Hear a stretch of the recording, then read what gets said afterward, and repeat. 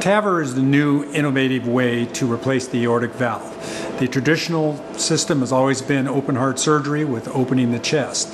With the new ability to do a catheter based procedure utilizing a minimal invasive approach, we're able to put a valve in where we could not before.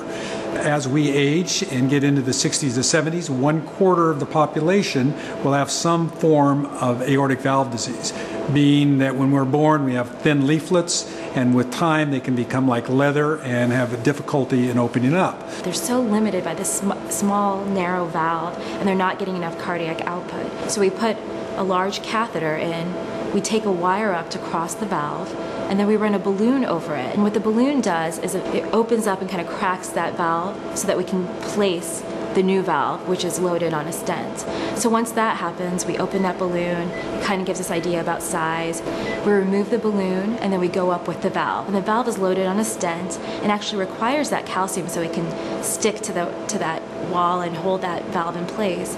And then the valve itself is a prosthetic aortic valve.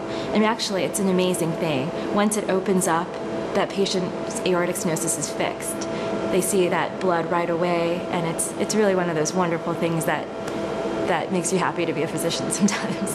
The only people that we can currently uh, do the procedure on are people who have inoperable disease, meaning they have to be turned down by two heart surgeons. We like to be optimistic when we offer this to patients, but we need to be cautiously optimistic just because we are limited in what we can do for people right now.